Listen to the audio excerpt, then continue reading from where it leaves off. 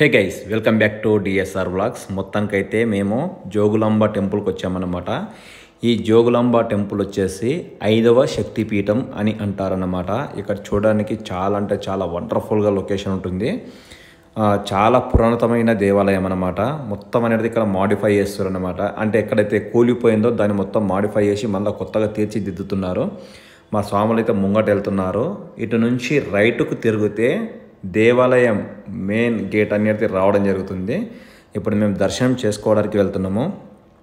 అయ్యప్ప మాలధారణ చేసిన తర్వాత ఇది నేను రెండోసారి ఈ టెంపుల్కి నేను రావడము.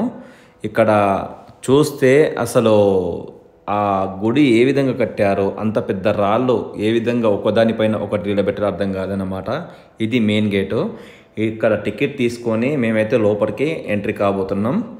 ఇక్కడ చూడొచ్చు. ఇక్కడ కనిపిస్తుంది కదా అది మాత్రం చాలా అంటే చాలా పురాణతమైనది ఈ కమాన్ మాత్రము కొత్తగా కట్టించారు. చాలా అంటే చాలా బాగుంది అసలు లొకేషన్ మాత్రం. చాలా అంటే చాలా వండర్ఫుల్గా ఉంటుంది. ఇంకోటి ఇక్కడ కోరిన కోరికలు మాత్రము హండ్రెడ్ పర్సెంట్ నెరవేరుతాయి. ఇది మెయిన్ టెంపుల్.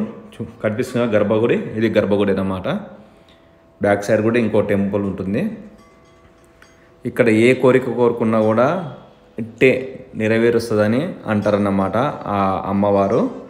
అమ్మవారి మెడలో ఉన్న నిమ్మకాయలు కూడా తీసుకొని వెళ్ళి పట్టణం దగ్గర కావచ్చు లేదా కారుకు దండలాగా కూడా కడితే ఇంకా చాలా బాగుంటుంది. ఇది కూడా ఒక పాత గుడే.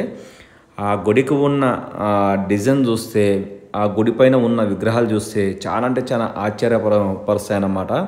అసలు అంత నీట్గా ఏ విధంగా చెక్కారో అసలు అర్థం కాదు. నేనైతే చాలా అంటే చాలా ఆశ్చర్యపోయాను. ఇది అన్నమాట మెయిన్ ఎంట్రీ గేట్ అన్నమాట ఇది.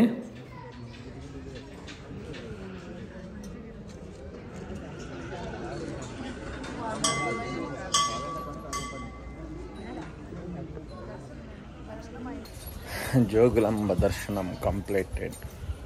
మొత్తానికి అయితే దర్శనం కంప్లీట్ చేసుకొని పోతున్నాం. ఇప్పుడు డైరెక్ట్ అనంతపూర్. అనంతపూర్ నుంచి ఇంకెక్కడ పోతామో తెలియదు. వీడియో మాత్రం స్కిప్ చేయకుండా అయితే చూడండి. ఓకే? ఇంకా మంచి మంచి వీడియోలు అయితే అందిస్తాను డిఎస్ఆర్ బ్లాగ్ ఛానల్లో. సో దర్శనం కంప్లీట్ చేసుకుని అయితే ముందుకు వెళ్తాము స్వామి. ఈ శక్తిపీఠాలు అన్నమాట ఈ టెంపుల్ మొత్తం శక్తిపీఠాలు.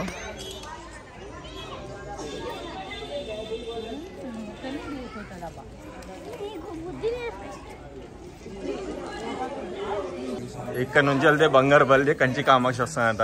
మా గురుస్వామి కన్యాస్వామి కత్తిస్వామి అందరూ ముంగట ఉరుకురా ఉరుకుతారు.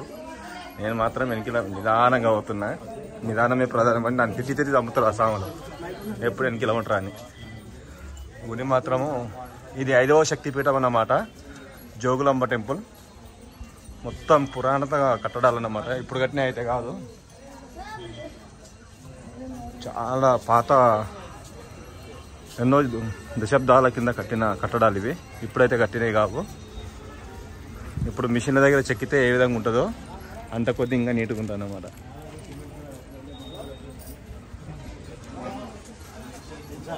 కంచి కామాక్షమ్మ దేవి ఆలయం దగ్గరికి వెళ్తున్నాం ప్రస్తుతానికి.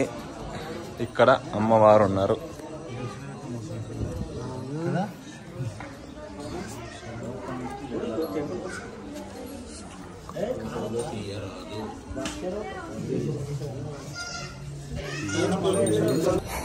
సో దర్శనం అయితే కంప్లీట్ అయిపోయింది.